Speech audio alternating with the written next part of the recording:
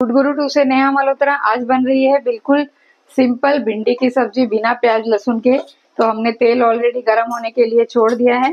अब हम सबसे पहले इसमें थोड़ा सा जीरा डाल देते हैं। बस जीरा भुन गया है। अब हमने फटाफट से इसके अंदर मसाले डाल देने हैं। हमने डाल देना है नमक।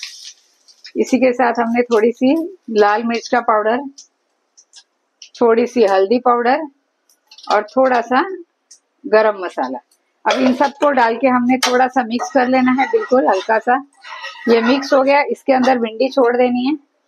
भिंडी को हमने इस तरह दो दो पीस में काट लिया था। पहले इसे धो के अच्छी तरह सुखा लिया था। सूखा करने के बाद बनाएँगे तो उसमें लेस नहीं आती है भिंडी में, बिल्कुल।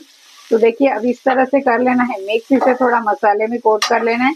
और इसी के साथ हम क्या कर रहे हैं, इसमें हल्का सा क्रिस्पी और टेस्टी बनने के लिए ना बेसन लगा डाल रहे ऊपर से, देखिए।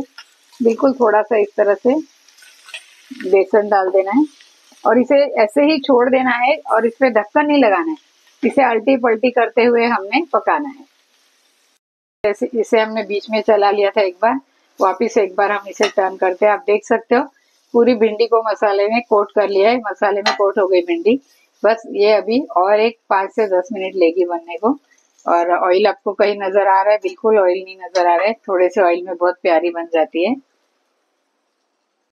भिंडी की सब्ज़ी बहुत ही बढ़िया देखिए बन के रेडी हो गई है, बिल्कुल ये तैयार हो गई और इसका बहुत ही अच्छा आरोमा आ रहा है।